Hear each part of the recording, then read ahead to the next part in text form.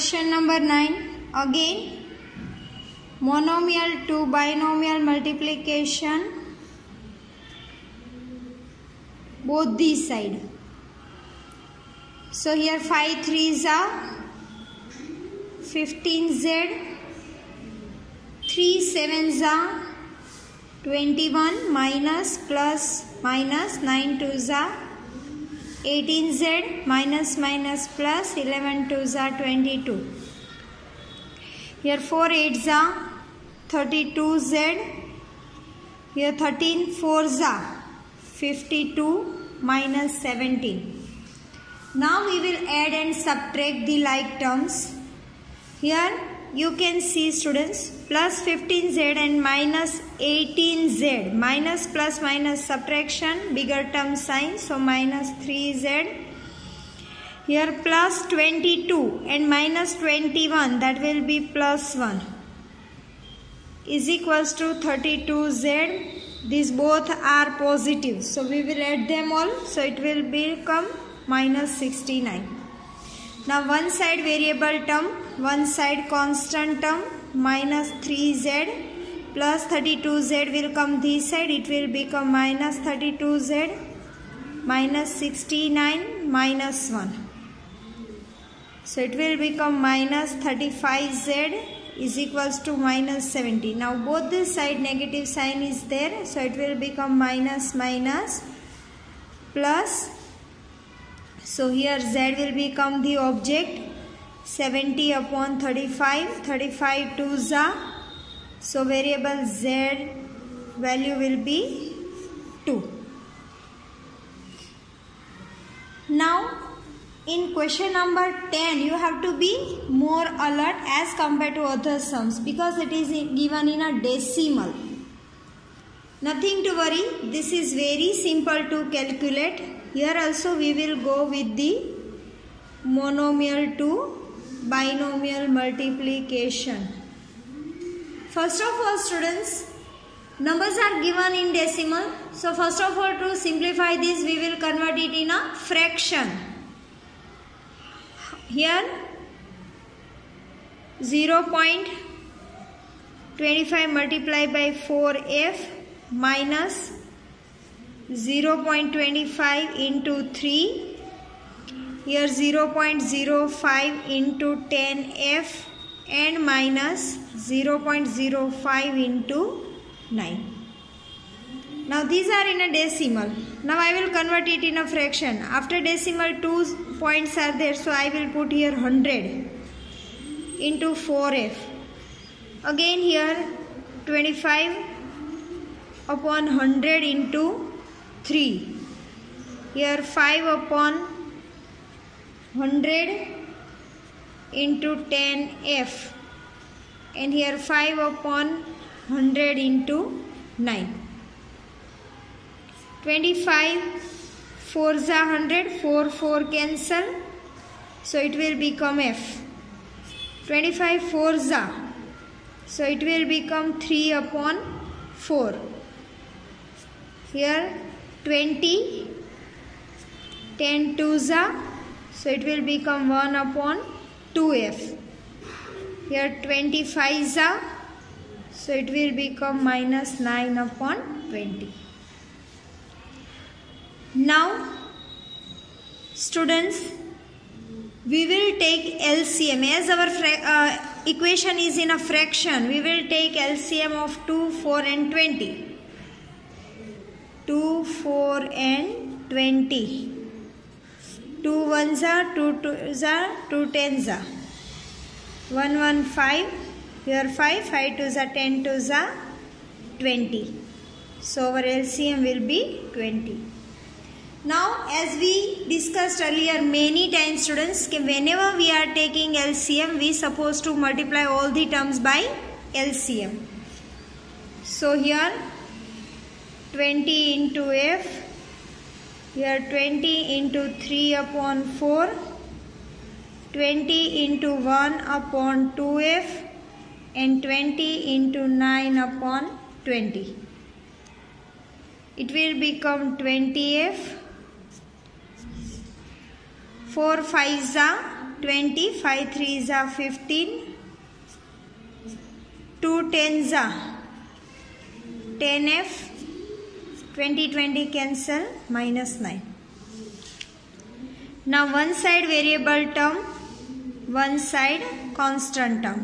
20f minus 10f is equals to minus 9 plus 15 20 minus 10 that is 10f 15 minus 9 that is 6 here f is equals to 6 upon 10 again our question was in a decimal. We convert it in a fraction. Again we get answer in a fraction. We have to convert in a decimal. So it will be 0.6 so this way we simplify our given equation. Now refer your next sum. Now students in our next exercise 2.6 the same equations are given which we are going to solve. As I told you earlier students whenever only two terms are there opposite to each other we will go with the cross multiplication method. So 1 multiplied by 8x minus 3 is equals to 2 multiplied by 3x. 8x minus 3, 3 to the 6x. 8x plus 3x will sorry plus 6x will come this side minus 6x minus 3 will come this side plus 3. 8x minus 6x that is 2x is equals to 3. Now x will be the object it will become 3 upon 2. Now same way here also we will go with the cross multiplication method 1 into 9x that will be 9x 15 here 7 minus 6x. So here 9x 15 7s are 105 plus minus minus 15 6 are 90x. Now 9x uh, minus 90x will come this side plus 90x is equals to 105. So it will be 99x is equals to 105. So x is equals to 105 upon 90 9. 35 threes are and 33 threes are. So the value of variable x will be 35 upon 33.